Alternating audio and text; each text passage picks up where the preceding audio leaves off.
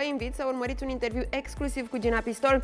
Frumoasa mămică a făcut dezvăluiri emoționante despre fetiță, dar și despre peripețiile pe care le-au trăit în vacanță.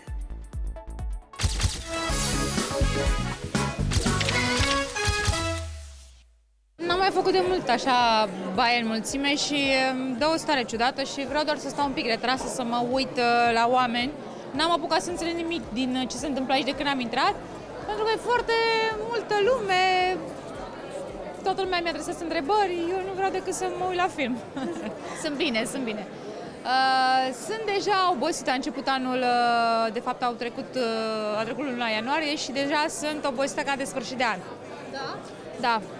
Am fost plecați în vacanță, dar atunci când mergi și cu un copil este puțin mai greu decât uh, atunci când mergi uh, s- doar cu iubitul în vacanță. Cum a fost în vacanță? Ce, prin ce peripeții ați trecut? Adevărul că uh, n-aș fi plecat în această vacanță fără copil, dar n-am înțeles nimic din vacanță că trebuie să faci, să-ți faci programul după programul copilului. Micul dejun, uh, mergi la plajă, întoarce-te, adorme copilul, se trezește copilul, uh, dai să mănânce și tot așa. Și uh, nici nu știu când au trecut uh, zilele de vacanță. Dar uh, ea s-a bucurat foarte mult. Uh, a notat, uh, s-a jucat uh, nisip uh, cu Andrei. Uh, a fost fain. Da, Cine seamănă mai mult, uh, Josefin, cu tine sau cu uh, Andrei? Are ceva de la fiecare um, și uh, la expresie seamănă cu amândoi. Este foarte simpatică și este uh, foarte funny, așa. E, frum, e un copil, o fețe foarte frumoasă, dar e și foarte funny. Se strâmbă toate felurile. Uh, îi place să asculte muzică, dansează. E, nu, e foarte simpatică. Cred că seamănă cu amândoi. Ți-a zis vreodată sau a făcut vreodată vreun lucru care să te dea pe spate, să rămâi surprinsă? Da, are în fiecare zi are niște reacții și niște strâmbături noi și niște chestii noi. Ne uităm unul la altul și, bă, de unde știe lucrul ăsta? În fiecare zi mă surprinde. Am înțeles. Uh, Spune-mi cum este Andrei în relația cu uh, micuța voastră. Îl vezi, este un genul acela de tată foarte grijuliu, foarte atent, îi place să petreacă mult timp cu ea? Este un tată perfect pentru Josephine. Dansează balet cu ea dimineață, uh, îi citește povești, uh, poezii, uh, îi cântă, se joacă cu ea. E, da, ei iau uh, uh, ru- ritualul lor uh, în fiecare dimineață. Ea își pune fustița de balet, Andrei îi pune Tchaikovsky, dansează împreună lacul lebedelor și uh, uh, după care se pare au o colecție de cărți uh, muzicale și pe urmă le răsfoiesc împreună, deci au ritualul lor.